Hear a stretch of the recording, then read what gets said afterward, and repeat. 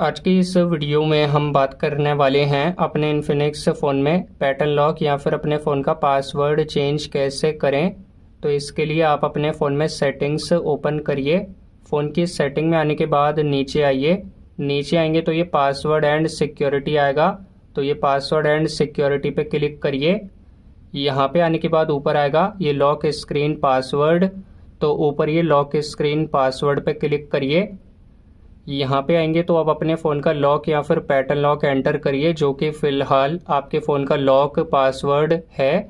तो ये लॉक हमने लगाया हुआ है तो ये हमने एंटर किया। तो अब इसे चेंज करने के लिए पैटर्न लॉक लगाएँगे तो पैटर्न पे क्लिक करिए। नंबर वाला पासवर्ड लगाएँगे तो ये न्यूमेरिक पासवर्ड पे क्लिक करिए। ए बी सी डी वाला पासवर्ड लगाएँगे तो ये वाले नीचे अल्फ़ाबेटिक पासवर्ड पे क्लिक करिए। हमें लगाना है पैटर्न लॉक तो ये हमने पैटर्न पे क्लिक किया। अब जो लॉक सेट करेंगे, वो लॉक एंटर करिए। हमने जैसे कि ये लॉक एंटर किया, फिर से कंफर्म के लिए ड्रॉ करिए एंटर करिए। तो दो बार अपना पासवर्ड बनाने के बाद नीचे कंफर्म पे क्लिक करिए।